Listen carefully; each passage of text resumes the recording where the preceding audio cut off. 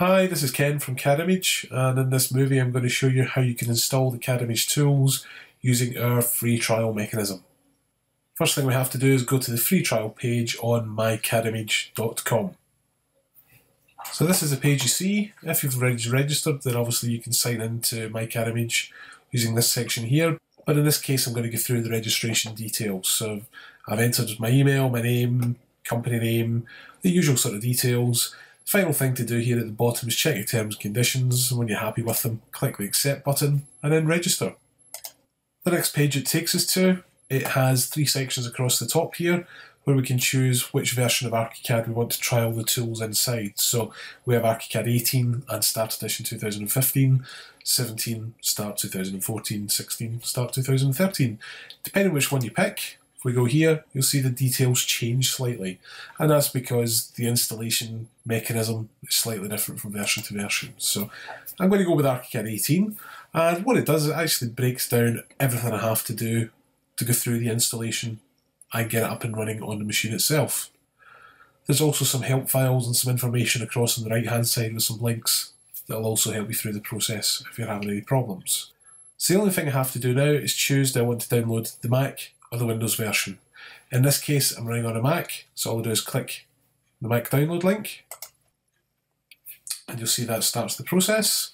We can then read through the rest of the details of everything I've got to do, but what I'll do is skip down to the bottom here and start the download going for the work environment because there's two parts to the process here. All I have to do now is wait for the downloads to finish and then we can carry on.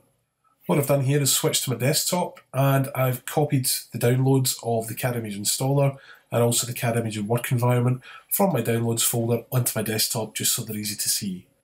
I've also taken a screenshot of what the Windows version looks like because you'll see if we compare these, the installer on Mac is a DMG so that has to be decompressed to then run the installation. The work environment is a zip file, again that has to be decompressed to be able to run the installer in there.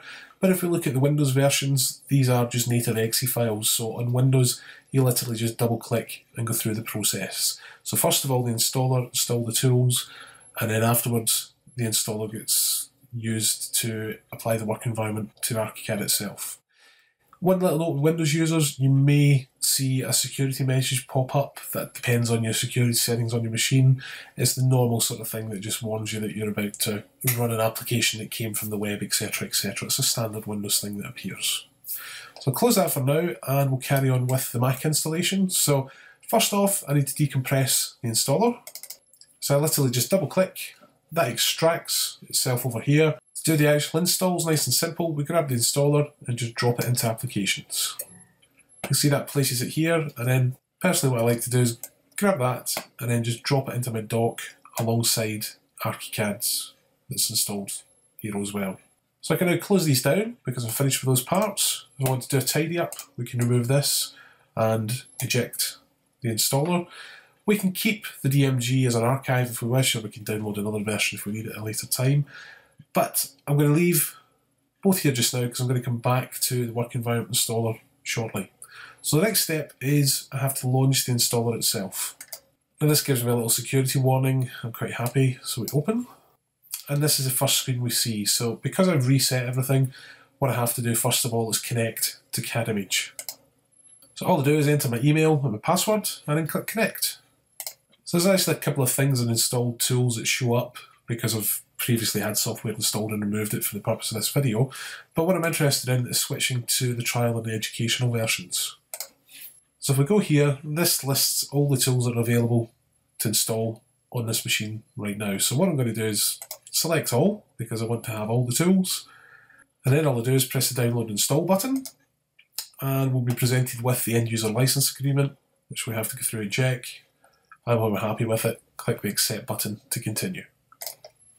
The installer then does its thing, connects to our servers, downloads the software, and installs it in ArchiCAD. So we'll leave it to continue. When the installation is complete, we get a message to tell us it's finished, and also we get a list of the tools that have been installed. At this stage, it's important to know that ArchiCAD has to run to finish the installation. So we can click the home button but the details shown here, they're not yet complete until ArchiCAD finishes. So all I'm going to do is quit the installer now and we'll go to ArchiCAD. So before I install the work environment, to complete the installation, I literally just launch ArchiCAD. So when I get to the startup screen, I'm just going to click to create a new project. We could open another project, doesn't matter, as long as we actually go through the full process of ArchiCAD fully starting up, and then we can quit to install the work environment on top. At this point, you'll see the CADimage menu and objective have appeared at the top of the screen, but we don't have the CADimage tools as yet in the toolbox. So, next thing to do is quit. So, simply close ArchiCAD down. I'm now going to double click on the zip file to extract that. And we pull away, you'll see it's a slightly different icon, but this is the actual installer for the work environment itself. So again, double click, give me a little warning, we can continue with that. And then all we have to do is click next. And the automatic install proceeds. You'll see it's pretty quick. So click done to finish. And then that's us ready to launch ArchiCAD again. The only thing I'll do maybe is a bit of a tidy up. Again, we can get rid of all these bits and pieces, whatever you want to do. If you keep an archive or bin them and download fresh, it's up to yourselves. But we no longer require these files at this stage.